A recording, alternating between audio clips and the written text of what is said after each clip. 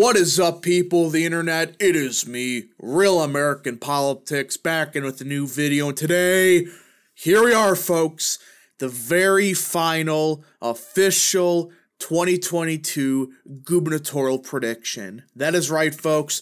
It's Prediction Sunday, and it's time for the final governor's prediction this cycle. This has been a very fun series to do on this channel for 2022. But it's time for the final official prediction, the prediction that really matters. Now, before we continue with today's video, I hope you enjoy these type of videos. If you do, smash the like button down below, subscribe, share with your friends, hit that little bell, follow the Twitter account in the description down below, and join the channel today. That is right, folks, for just 10 cents a day, you can join Real American Politics, only 10 cents a day. That's a phenomenal deal as it helps support the daily content. That's right, folks. By joining, you can help support the daily content, and it's only 10 cents a day. So I recommend you join as it does help support the daily content that we all know and love. All right, folks, let's get in today's final prediction. So, this is going to be a longer governor's prediction than usual. Why? Well, we're going to go in detail to a lot of races, and we'll be discussing more races than we usually have because, well, there are going to be, I would, I think it's 17, there's 17 governorships that, most of them you could tell which way they're going, but we should still discuss it for a little bit at least because I haven't really discussed some of these, but let's get into it. So, for the final time for the governor's map, these are the for sure, no matter what you do, safe seats. And let's start with the Democrats. California, Colorado, you know, Trafalgar did release a poll with this race within 10. I think the undecideds are going to break for Polis. This is one of those rare circumstances where Polis, I think, is just such a popular governor in the state of Colorado that he, he's going to win by over 10 points. Now, is there a possibility? Yeah, but I don't see it rest of these states, we all know how these states are going to vote. And that's that. That is the for sure, no matter what you do, safe Democrat seats. That's not a not a lot. Not a lot whatsoever. Now we got the for sure, no matter what you do, safe Republican seats. I don't think I gotta say much about these. I mean, it's kind of getting to a point where, yeah, Texas, it's not gonna be within 10. I don't think I gotta say much about any other other states. Georgia, I don't think I gotta really say much about Georgia. I mean, you scroll down here to the RCP aggregate. Yeah, Kemp's up by only eight, but these undecideds, they're gonna break for Kemp. You look at who's undecided, it's white and it's suburban voters. Now, in past elections, they may broke Democrat. This cycle, we're clearly seeing these voters are breaking Republicans significantly. So it's no crazy to say that Kemp's going to win this race by quite a bit. Iowa, Ohio, of course, these states are. I mean, even the polling's admitting DeWine's going to win by like 20. The governorship in Iowa, not even worth talking about. There is an attorney general race, I believe, that's going to be close, but that's about it for Iowa. Vermont, New Hampshire, of course, Phil Scott and Sununu. And that's that the for sure, no matter what you do, safe states, in my opinion. There are a couple that may be safe for the toss ups, but we just gotta see. All right. So now let's go. Let's go in alphabetical order for once. I have not done this. I usually go East Coast to West or West Coast to East. I think I did South to North once, but let's go in alphabetical order. So let's start with the great state of Alaska. Oh boy, Alaska. Now, this is a Trump plus 10 state. Here's the problem about frickin' Alaska the ranked choice voting nonsense. Look at this crap. Look, the only reason I think this race is going to be much closer than it should be is because the independent Bill Walker, former governor, fairly popular. He has a Democrat as his running mate, and I think he's going to make the second round. And I think it's going to be within five. I think, end of the day, Republicans will win Alaska, but because their stupid system, they're not going to win by as much as they should. So that's that Alaska. I don't think many people can really question that. I mean, Alaska's system is such a disaster. Like, yes, we only got one election to see how it goes, but that one election was a total joke. So that's that in Alaska. Arizona. Ah, the great state of Arizona. So, Hobbs has been somewhat recovering ever since their kind of disastrous October, but it's not enough. Lake is going to win this race by a lean margin. I mean, where is Katie Hobbs going to pull this race off? Maricopa? Republicans are crushing the early vote in Maricopa. Pima? There's some polling to prove Republicans are going to crack 42, 43% in Pima. So you start doing the math, it's like, where's Hobbs going to pick up these votes? Definitely not Pinal or Yavapai counties. Maricopa is kind of the only place that Republicans or Democrats could seriously pull it off in. And they're getting crushed at early voting compared to the, what we expected. It's not pretty what's happening in Maricopa for Democrats. And you look at the polling, they have Lake up by two. These undecideds, in this environment, they're going to break for Lake. This is not like freaking Colorado where you got a popular Democrat governor. No. You have an unpopular Secretary of State running against a person that's been on people's TV for years now. How do you think they're going to break? And I think the good polls are showing Lake's going to win by lean margin. I think that's fair to assume that. Now we got Connecticut. Man, oh man, Connecticut. This is the disappointment for me this cycle. The biggest disappointment for me.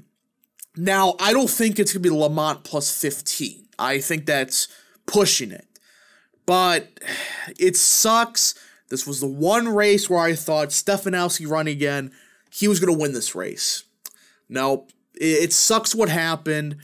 Lamont's going to win, but within 10 points. It's a disaster. It's a complete joke what happened. I mean, Stefanowski lost by three points in 2018. And then instead of running that campaign again, the way he handled 2018 was he was essentially blue collar Bob. This cycle, he was woke Bob. Look at what he posted in June on Pride Month. Yeah, that's going to totally appeal to you know, Republican voters or independent voters in frickin' Connecticut that are more focused on cost of living than that crap. It was a total sham. Now, could it be closer than we expect? Yes, he's been running a better campaign as of late, but it's too little too late. It sucks. I know people from Connecticut. It just, this is one of those states where I'm disappointed that, that the Republicans, they had potentially a good candidate Stefanowski ran a terrible campaign. And not just, oh, he didn't get funding, he just ran a terrible campaign flat out. It was a disaster. Very big L for the Republicans this cycle. Kind of the only one for the governor's map that's kind of an L. So that's that at Connecticut. Florida. The only reason that I'm even somewhat discussing Florida is because the polling's kind of teetering towards safe and likely. But guess what? Past polling errors show DeSantis may win this race by 15. I don't think he will win by that much, but I think it's going to be a safe state. And uh, Crist was a terrible candidate. I mean, he's this is to be the third time he lost a statewide election, or fourth. It's one of the two. Ran as an independent, lost. Ran as a Democrat, lost. Ran as a Republican, lost. It's a total joke. He was a terrible candidate, ran an awful campaign. I mean, the second that he said, no, anybody that supports DeSantis should not deserve the vote for me. What? DeSantis' approval is like 55%. So you're trying to get 45% of voters to be a, a, a governor with 55% approval. It was a disaster. Crist ran a terrible campaign, one of the worst. Not enough people discuss it total sham what happened to Florida. I am so glad that even the RGA didn't really spend money here. And you want some proof? Look at Miami Dade's early vote. That looks so Democrat, am I right? No, Republicans lead early vote in Miami. It's gonna flip this cycle. It's totally gonna be within 10 points, everybody. No, it won't. Florida, safe Republican. Illinois, oh. This is one of those races I've been having a very hard time trying to predict what the margin will be. Now, the reason is I've seen some of the internals and I looked at the crosstabs of many of these polls. Bailey's running up with independent voters. The problem? It's Chicago. Cook County is the single problem with this state and why it's going to be very hard for Bailey to pull it off. But I think not enough people are giving him credit for. He's been running, you know, I think a bit too much of a MAGA campaign, but who knows? It may work against somebody like Pritzker. It may just work. But the problem is yes, there's a lot of red counties in southern Illinois. Yes, if you could turn out huge up here or down here, there's a shot you could get within 10. I think you'll get within 10. I think a lot of these pink counties, they're going to vote for Bailey. They're going to vote for Bailey by even wider margin than I think they did for Trump. And we saw how Bailey did in the Chicagoland area in the primary. He won this area. Not as much as he did the rest of the state, but he showed he can win some of these more independent Republican voters in the Chicago area. Now, the issue is well, Chicago just has so many votes that even if you win the suburbs of Chicago, Cook County alone is just way too big of a gap to overcome. And I hope Bailey surprises me, but I have to put this likely. I have to put this likely. Could it be within five? Yes. I just don't see how it's within five, but who knows? This cycle has been, to say the least, strange. So I, I would have seen crazier things this year. We just got to see. Oh, Kansas. Kansas, Kansas, Kansas. Look, if an independent screws us over in this race again, I'm going to be pissed. If you don't know, there's a former Republican running as a third party candidate who's sucking up like 4 to 5% of the vote. Well, guess what? This race is going to be close because of it. Kelly was already somewhat of a popular governor. Not the most, but she didn't have the worst approval rating like Tony Evers, Wisconsin, or anything like that. But this should be a race Republicans run away with. But nope the freaking the freaking Republicans that oh I'm gonna run as a third party candidate and split the vote because yes I'm getting so sick of them. And no candidate will reach like even I don't think 48% of the vote in this race. The winner will get like 46% of the vote and it's gonna be pathetic because of a third party candidate that if you told asked those voters how they would have broke they would have broke for Schmidt overwhelmingly. But with all that in mind I think Kansas is just a bit too Republican in a red wave, and there's evidence to say that Kelly only won because of 2018 being a blue wave.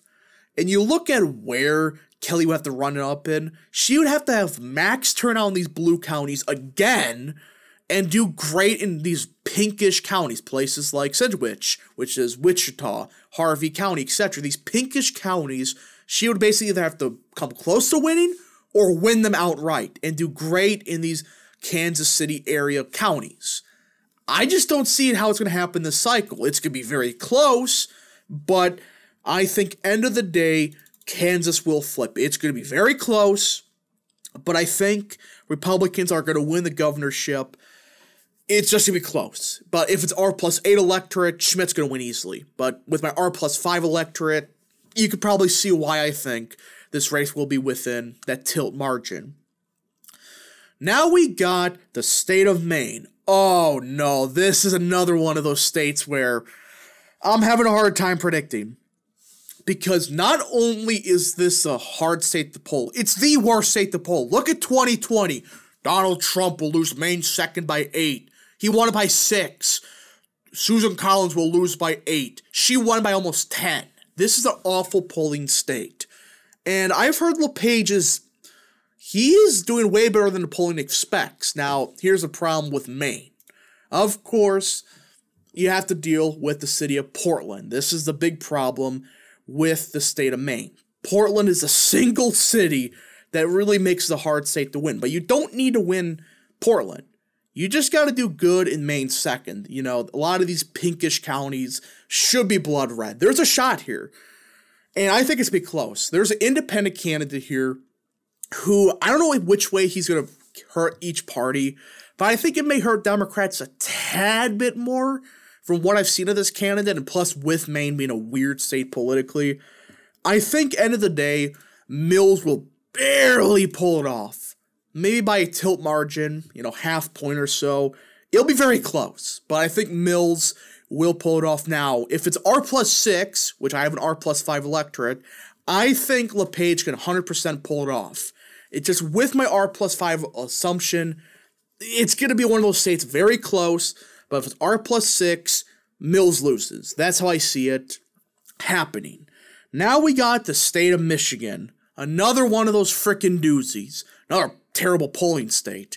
Whitmer is polling by has a 4.2 lead according to RCP, adjusted lead of 2.1.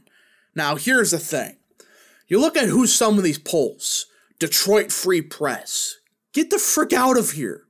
And you got a good pollster and Insider Advantage, which has this race tied. And Emerson, I don't know what you're on, but to have this race outside of a two to three point lead for Whitmer at the very best for her, eh, I just don't see how you can seriously say that. And you look at who's undecided, it's working class whites. So it's going to be a close race either way. And I don't think there's a major third party candidate from what I've heard. They're going to like independents will get like 1% the vote. But I think Michigan, end of the day, with how bad of state polling has been in Michigan, and quite frankly, it's a pretty bad state, one of the worst, in fact. I think this is where an upset's going to happen. I don't think it's really much of an upset at this point. Look, where does where does Tudor Dixon have to improve in? just Grand Rapids. This is the part of the state that if she wins Muskegon and Kent counties, she's going to be the next governor of Michigan, more than likely, if she holds off the margins in the rest of the state. That's all she needs to do. If she does just as good as Trump in the rest of the state, which I think she'll do better than Trump in a lot of these pinkish counties, I truly believe a lot of these counties, they're going to trend Republican. If she just holds off the margin to a place like Macomb, just win it by eight to nine points, just don't get crushed in a place like Oakland County. You can do even a bit worse than Trump. I think she'll actually do a bit better. But if you just win the Grand Rapids area, I think Tudor Dixon will win. And end of the day, that's my thing. I think Michigan's going to vote for Republican governor. It's going to be close. I wouldn't be shocked if Whitmer wins, but at the same time, I think Dixon's on pace to win the Michigan governor's race. We just got to see what happens. But look what's happening with those Detroit Muslim voters. I mean, some of the most Democrat voters in one of the most Democrat cities in America, they may save Tudor Dixon. Welcome to 2022. It just hurts my brain that's happening, but Michigan, in my opinion, I think Tudor Dixon will win that race. Now we got Minnesota, the great state of Minnesota. Here's the problem with Je- for Jensen. I have some problems about him. I mean, he's not the best candidate. In fact, one of the worst. Not enough people discuss it. Here's the problem. So the polling from Trafalgar has the race tied. In fact, had you know Jensen up by a little bit.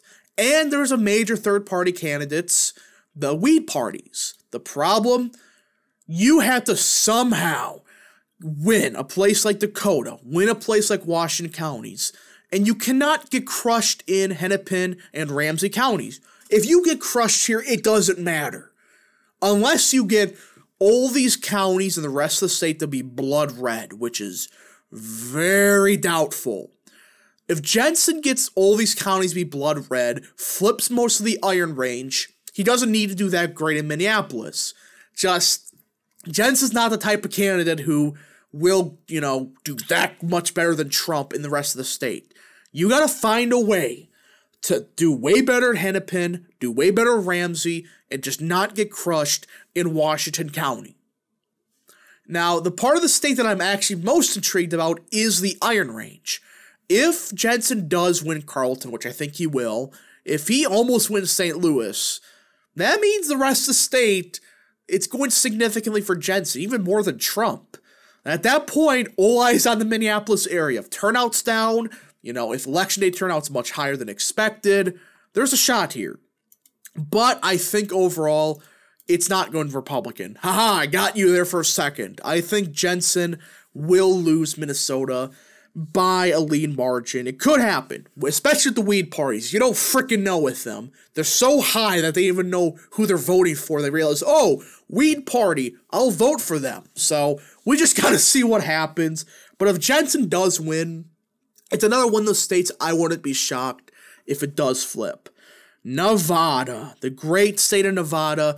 Do I really gotta say much about this state? I I really don't. Um, Lombardo's up by two and a half points, but the good pollsters, Insider Advantage, Emerson, Trafalgar, they have them up by basically a likely margin. And you look at the early voting in Nevada, it's been a disaster. And they're going around saying, oh, Democrats have a lead in early voting. Congratulations. That is such a small step to climb. That's nothing. Okay, Democrats have a lead early voting. They had a lead by like 40, 50,000 in 2020. They should have a larger lead today with how many more are supposed to be early voting. They just didn't reach the numbers. And with election day turnout supposed to be fairly high, I think these are one of those races where Lombardo, you know, again, my margin of error is within three points. It's to be a high lean margin, potentially, and this is my opinion, a likely margin. You can clown that all you want, but it's gonna be like a four to six point victory for Lombardo as of now. From everything I've seen, the polling data, the early vote data, that's pointing to Lombardo winning by a significant amount. I'm shocked. Nevada voting to the right of Arizona. I know. But you look at the good polls, they all indicate a likely margin. So that's that in the state of Nevada. New Mexico. Oh man, you know, this sucks. This absolutely sucks. My man Ron Ronchetti, look, it's going to be within five, but I just want to skip over this one. This one's depressing to watch. It's going to probably be within two, but uh, my man Ron Ronchetti, he's surging, but I don't think it's enough. He had a serious shot. I just think with New Mexico being this much of a Democrat state, it was already a hard hill to climb. I know he did better than Trump in the Senate race, but it was still a hard hill to climb. But if Ron Ronchetti pulls it off, I wouldn't be that shocked. Just, uh, man, I am a big fan of him. He's very underrated. I just think as of now, Republicans lose the New Mexico governorship. Now there's a shot they win it, just I don't see it right now. I really don't see a path for Ronchetti that's like a legitimate possibility. Like it's possible, but I just don't think it's the most legitimate way for them to win. New York, oh, New York, the great state of New York. Look, if you live in New York, vote for Lee Zeldin. This is your last shot, New York, to save the state. And everything I'm hearing disastrous news for Hochul. The fact that they have Biden campaigning for her? Oh, God. You're that desperate you need Joe on the streets campaigning for him? It's a total joke what's happening in New York. The early vote data has been disastrous for Democrats once again. And the good polls, Trafalgar, have it as a tied race. Now, Emerson has a Hochul plus nine. I don't think that's going to happen. From everything we've seen, this is going to be a very close race. It's in the realm of toss up. And it's one of those races, I think it's going to go either way. I think it's a true toss up, but if I had to rate it, I think it is tilting Democrat. It's a very close race. Not enough people are discussing it. How close this race really is. Well, there's a lot of people discussing it. Just, I don't think enough people understand how close this race is truly going to be. It's going to be close. But we just got to see what happens. It's going to be a close race either way. Now, if it's a lean margin for Hochul, I wouldn't be shocked. I would not. It would be kind of surprising, but I wouldn't be shocked. That's the best way to say it because it, it is New York. So we just got to see it again. Three point margin of error. That's within the margin of error. It's a very close race. We just got to see what happens. So New York, that's that. Oklahoma. Only reason I'm discussing it just shut up about New York or Oklahoma being freaking lean Democrat. I'm getting sick of this crap. Stitt's gonna win by a likely margin, which is closer than I originally expected, but you look at Oklahoma. Where? Where's Hofmeister gonna pull off enough votes? The, the reddest parts of the state? We would have saw this in the primary. If Stitt had a problem, he would have did horrible in the primary. He didn't. This crap crapping pushes from crappy pollsters that are horrible. Look at the primary. They had the Senate race being close. I mean, the fact of the matter is, these same polls have Trump only winning Oklahoma by 12 in 2020 or 2024, a state that he won by 33. Yeah, no. Stitt's going to win this race. It's going to be closer than it should be, but that's that. Oregon, the great state of Oregon, one of the closer races this cycle because of the major third party candidate in that race. The RCP aggregate has it a tied race right now. Now, the good polls, like Trafalgar, has a Drazan plus two, but Emerson has Kotek up by five.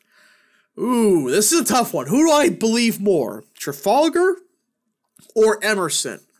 You know, I believe Trafalgar a bit more. Emerson's a good poll. I just think even RCP has it as a pickup. I think with Johnson on the ballot, it's not going to be enough for Democrats to win the race. Even if she only gets 10% of the vote, Drazan has built up kind of a floor in the state of Oregon. I think Drazan's going to pull it off by very close margin, but end of the day, I do think she pulls it off by like a half to a quarter point. But we just got to see what happens in Oregon. Pennsylvania. Oh, this is a fun one. I, I wonder why this is an interesting race hmm, it's as if these crappy polls are pushing this bullshit narrative of Shapiro plus 14 to 15. No. Just no. Look, this race is going to be much closer than people expect. It always has been. And these same crappy pollsters in 2020 had this as a Biden plus 10 state or something crazy like that. Trafalgar has a Shapiro plus 5, Insider Advantage has a Shapiro plus 8. And when you look at the crosstabs of many of these polls, you realize independents are breaking for Mastriano. How can you lose Pennsylvania in that situation when Trump lost independents by 8? You really can't. But I still think, end of the day, Shapiro is in the runner's seat now. He's been campaigning with Biden a lot lately, which makes me wonder, hmm, what's going on here? But it sucks the RGA did screw over Mastriano in the state of Pennsylvania. Look, if he had half the funding Shapiro did, he would have won this race by a significant amount. Just half. Maybe a quarter. But no, we have to spend in Oklahoma. It's a bunch of crap. And Pennsylvania, look, it is a f- becoming more and more a Republican state. But if Oz wins the Senate race by five to six, maybe seven, Mastriano may get carried over. I would say carried over more so. That just shows it's a more Republican elect- electorate, which may help Mastriano. And I truly believe his base is getting undersampled. But we just got to see what happens in the state of Pennsylvania. Rhode Island. Only reason I'm talking about this is Republicans have a good candidate, unpopular governor who had nearly lost the primary. And Rhode Island's a weird state politically. It's going to be within 10. I don't think Republicans will pull it off. Wisconsin, my beautiful state of Wisconsin. Tony Evers, goodbye. Nice knowing you. Look, if Michels is up in the RCP aggregate, it's over. it's over. Trafalgar has it up by two, Emerson up by one. Even Fox, they admit, one of the worst pollsters, they admit Michael's up by one. Only Siena has the gall to push this Evers plus two crap. And you go around the state, oh, Evers has basically no support. Just go around Wisconsin, he has no support, it's over. Tim Michels, an underrated candidate, is going to win this race significantly. RCP adjusted average has Michels plus five. And that's that, folks. The final, absolutely final governor's prediction for 2022. Now, I wanted to do something real quick. Hold on. Let me let me come back in a quick second. All right, thanks for um waiting for that split second of cut. So, I wanted to do make something very clear. There are states that could go either way. And I don't want people to get this idea of, oh, he says it's a tilt margin, that means there's a 100% chance. No. I just think at this current point, based on what we know, it's the most possible scenario is this map, based on everything we do know. But pure states that could go either way. Oregon, it could absolutely go Democrat. Kotek can absolutely win. New Mexico, Ronchetti could win. Minnesota, there's a shot. It's I don't think it's likely, but Jensen could win. Mi- Michigan, absolutely. There's a shot that Whitmer holds on. I'm just assuming this is an R plus five electorate. That's my prediction. It's absolutely possible. If it's R plus four, Dixon loses. You go to Pennsylvania. If it's R plus eight, Mastriano is going to pull it off. That's how I see it. Now, it's be close, I think, either way, but if it's R plus eight, there is a shot of Mastriano winning. Now, New York, that's kind of the, New York and Maine. Those are kind of the last two. If turnout is higher than we expected for Republicans, they're going to win New York and Maine. That's how I see it. But it's going to be close. It's going to be a very close election for many of these states. And these are the seven that you can make the argument could go either way. Absolutely. I'm not saying this map is 100%. It's just the most likely outcome. Some people fail, fail to understand what that means. So this is the map that you can make the argument they could go either way. But I think this is the most likely scenario. We just got to see what happens. And for everybody, here's a spreadsheet of my official predictions. As you can see, this is how I think these map uh, the races will go exactly to the percent. And this margin is Republican number minus Democrat. Now again, Alaska, Democrats basically either way, if the Democrat makes the second round, this other vote's going to go to him more than likely. So you get the point. If it's Bill Walker in Alaska, other votes 48%. If the Democrats in the second round, he gets around 48%. So this is my official final prediction for the competitive seats. Thank you so much for watching. This has been a very fun cycle. Tomorrow, final prediction of this election cycle, the Senate prediction map. Thank you so much for watching. We'll see you guys in the final prediction. Godspeed to all of you.